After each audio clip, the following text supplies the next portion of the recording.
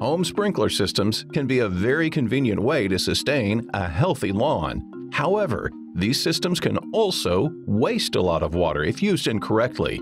Here are five common problems that waste water and money. Number 5. High pressure. The recommended pressure for a sprinkler head should be between 30 and 50 psi. For every pound of pressure over that amount, homeowners exponentially lose efficiency and waste water. High pressure creates smaller water droplets that are blown away by the wind or evaporate before soaking into the ground. Using a pressure gauge can help determine if a pressure regulator is needed. Pressure gauges and regulators are inexpensive, easy to use, and can be found at most home improvement retailers. Number 4.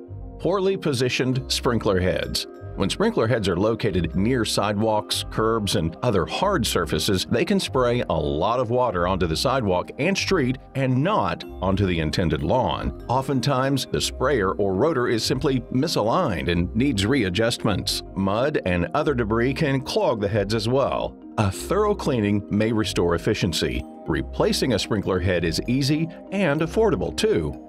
Number 3. Maintenance troubles.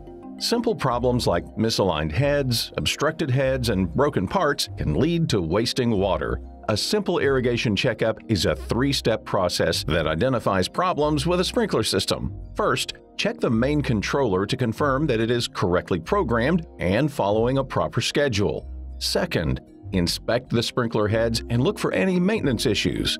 Finally, write down repairs to make and complete those needed fixes. By following through on a simple irrigation checkup, homeowners will soon have their sprinkler system performing at its best. Common problems number 2. Overwatering. It's very important for homeowners to know the actual watering needs of their lawn and surrounding plants. Typically, a yard only needs one inch of water per week to stay healthy and green. Established plants and perennials need less water than annuals and newly established plants. They can go two weeks to a month without rainfall in many cases.